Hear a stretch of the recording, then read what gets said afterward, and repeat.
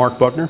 I work in uh, the RF Communications Intelligence Systems Group. I do work in a combination of machine learning and cognitive sciences applied to uh, signal processing problems. There's great need for, uh, for robotic systems, you know, the, the ability to process images uh, the way a cat processes and can recognize a, mouse.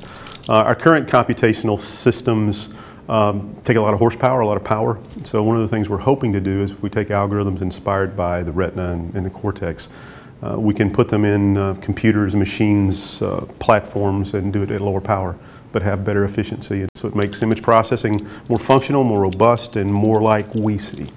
A good example would be in unmanned aerial vehicles or in, in uh, search and rescue robots.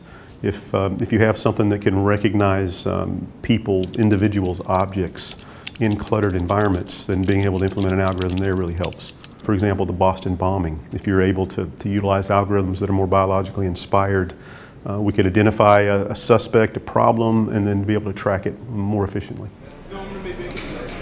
What is FIRST Robotics? FIRST stands for Inspiration and Recognition of Science and Technology. I uh, got lassoed in because of my kids and other kids in the neighborhood wanted to, to do FIRST LEGO League. So um, I've mentored for nine years uh, in both elementary and middle school. And the last two years I've been involved in FIRST Robotics at the high school level.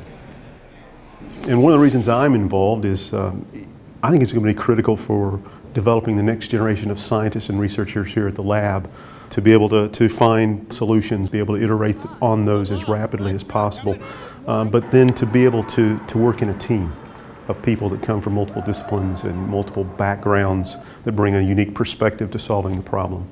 I'm sure a lot of us were inspired by mentors or teachers or others in the field uh, that, that, gave us the inspiration to pursue and do things that, that we didn't think we could do.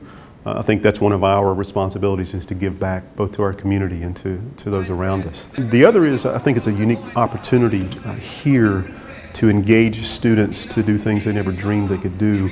Uh, so one of my goals for, for these young kids is, yeah, they'll go on and get graduate degrees so they're in the workforce, but they'll come back and make this a vibrant place to live and, and a more exciting place to live.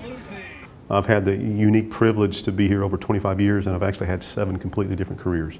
So that's the exciting thing is you can find somebody here at the lab that's an expert in some field. And um, you can go to them, you can collaborate, you can brainstorm together, you can bring unique perspectives together to solve some of the most pressing challenges that face our world.